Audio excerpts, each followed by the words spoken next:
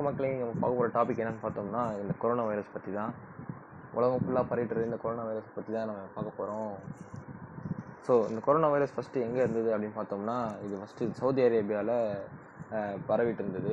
இது வந்து டாக்டர் அலி முகமது சக்கியால் கண்டுபிடிக்கப்பட்டது.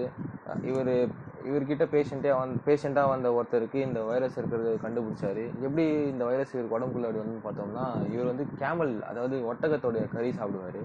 ஸோ அங்கே சவுதி அரேபியாவில் ஒட்டகம் சாப்பிட்றது ரொம்ப காமன் ஸோ அந்த கேமல் உடம்புலேருந்து அந்த வைரஸ் வந்து மனிதர்களுக்கு ஸ்ப்ரெட் ஆகி அங்கே சவுதி அரேபியாவில் கொஞ்சம் பிரச்சனையாக இருந்தது. ஸோ அது அப்போது அங்கே கட்டுப்படுத்தி வெளியே வ- தெரியாமல் இருந்த அந்த அந்த வைரஸ் வந்து சைனாவில் ரீசெண்டாக எப்படி வந்தது பார்த்தோம்னா சைனாவில் இப்போது ரீசெண்டாக இது வௌவால் கறி சாப்பிட ஆரம்பிச்சிருக்காங்க. யாரோ செலிபிரிட்டி அது வௌவால் கறி சாப்பிட்டு பா பார்த்ததுனால நிறைய பேர் அந்த வௌவால் கறி சாப்பிட ட்ரை பண்ணி இந்த மாதிரி வைரஸ் வர ஆரம்பிச்சிச்சு இந்த வௌவால் க வௌவால் எங்கேருந்து பிடிச்சிட்டு வராங்கன்னு பார்த்தோம்னா இது காட்டிலேருந்து தான் பிடிச்சிட்டு வராங்க. ஏன்னா அது- தனியாக வளர்க்குறது வளர்க்க முடியாது. ஸோ அது ஒரு அது ஒரு வைல்டு அனிமல் ஸோ அது வளர்க்கலாம் முடியாது எங்கேயும். நம்ம சிக்கன் அதெல்லாம் வந்து நம்ம வளர்த்துடலாம்.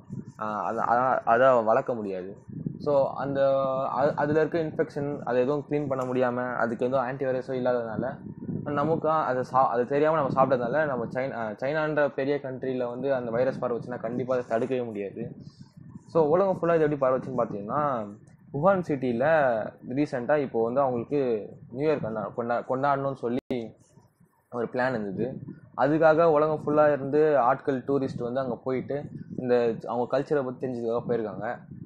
ஸோ சைனாவில் அந்த வைரஸ் பரவது தெரிஞ்சு அந்த கல்ச் அந்த ஈவெண்ட்டை கேன்சல் பண்ண உடனே உலக உஹான் சிட்டியிலேருந்து உலகத்துலேருந்து வந்தவங்க எல்லாம் கிளம்பிட்டாங்க.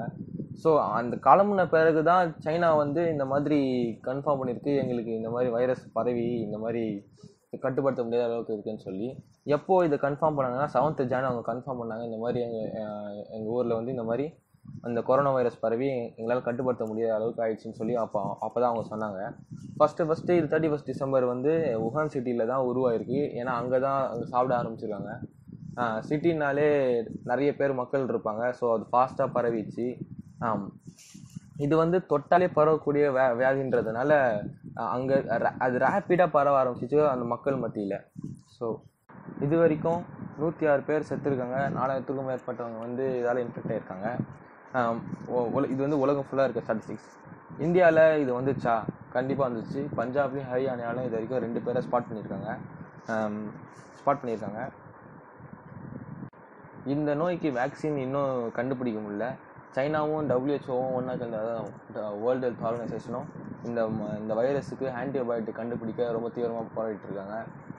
இன்னும் அதுக்கு க கண்டுபிடிச்ச மாதிரி தெரில ஏன்னு கேட்டால் இந்த வைரஸ் இப்போ தான் ஸ்டடி பண்ணுறாங்களாம் இந்த கண் ஸ்டடி பண்ணி அதுக்கு ஆன்டிபயோட்டிக் கண்டுபிடிக்க இன்னும் மூணு மாதம் ஆகும்னு சொல்லி மூணு மாதத்துக்கு மேலே ஆகும்னு சொல்லி டபிள்யூஹெச்ஓ அவங்களுடைய அஃபிஷியல் சைட்டில் போட்டிருக்காங்க. ஸோ இந்தியாவில் பரவிச்சு இந்தியா வந்து செகண்ட் லார்ஜஸ்ட் பாப்புலேட்டட் கண்ட்ரி இந்த வேர்ல்டு ஸோ அப்போனா அது பரவறதுக்கு சைனா மாதிரி இது கொஞ்சம் சான்சஸ் இருக்குது நம்மளை எப்படி இந்த நோயிலேருந்து ப்ரிவெண்ட் பண்ணிக்கிறது?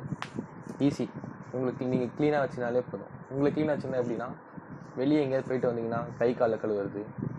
அப்புறம் உங்களுக்கு தும்பலோ இரும்பலோ வந்தால் மூஞ்சை கவர் பண்ணி தும்புறது. டக்குன்னு கர்ச்சிப் இல்லை. ஒரு டிஷ்யூ பேப்பர் இல்லைன்னா உங்கள் எல்போ ஃபேஸ் ஃபுல்லாக கவர் பண்ணி நீங்கள் தும்புறதோ இரும்புறதோ பண்ணலாம். அப்புறம் உங்கள் எதிர்க்க இருக்க ஆளுக்கிட்ட ரொம்ப நெருக்கமாக பழகிறத நிறுத்திக்கும் ஏன்னா அவங்களுக்கு அந்த நோய் இருக்கா இல்லையான்னு உங்களுக்கு தெரியாது. அந்த நோய் தாக்கி ஃபோர்டீன் டேஸ் அப்புறம் டுவெல் டேஸ் கழிச்சு தான் அந்த நோய் இருக்கிறதுக்கான அறிகுறியே தெரியும். அது வரைக்கும் அதுக்குள்ளே நீங்கள் போய் அவங்க டச் பண்ணிட்டாலே அந்த நோய் உங்களுக்கு வரது சான்ஸ் நிறைய இருக்குது ஸோ வெளி ஆட்கள் கூட கொஞ்சம் நெருங்கி பழகுறத தடு தடுத்துக்கோங்க. உங்களுக்கு ஃபீவர் காஃப் இல்லைன்னா மூச்சு வரதில் பிரச்சனை ஏதாவது இருந்தால் தயவு செஞ்சு ஒரு ஹாஸ்பிட்டலில் போய் பாருங்கள் ஏன்னா ஹாஸ்பிட்டல் போனால் அவங்க பிளட் டெஸ்ட் எடுத்தாங்கன்னா கண்டுபிடிச்சிடலாம். உங்களுக்கு அந்த வைரஸ் இருக்கா இல்லையான்னு சொல்லி. ஸோ நீங்கள் இப்போ ஜாக்கிரதையாக இருந்தாலே போதும். மற்றவங்கள மற்றவங்களுக்கு அந்த நோய் பரவாத நீங்களே தடுக்கலாம். எல்லாம் உங்கள் கையில் தான் இருக்குது ஓகே நாளைக்கு இந்த இன்னொரு வீடியோ பார்க்குறத உங்களிடம் விடைபெறுவது உங்களிடம் இருந்து விடைபெறுவது உங்கள் தனுஷ். நாளைக்கு இதே மாதிரி ஒரு புது கண்டனோட நான் உங்களை பார்க்குறேன். உங்களுக்கு இந்த வீடியோ பிடிச்சிருந்தா தயவு செஞ்சு லைக் பண்ணுங்கள் ஷேர் பண்ணுங்கள் ஏன் ஷேர் பண்ண சொல்கிறேன்னா இந்த விஷயம் நிறைய பேர் தெரியாமல் இருக்கலாம். ஸோ உங்கள் ஃப்ரெண்ட்ஸுக்கு தயவு செஞ்சு ஷேர் பண்ணுங்கள் அப்புறம் உங்களுக்கு வேறு ஏதாவது கண்டென்ட் சொல்லணுமா? தயவு செஞ்சு கமெண்ட்டில் சொல்லுங்கள்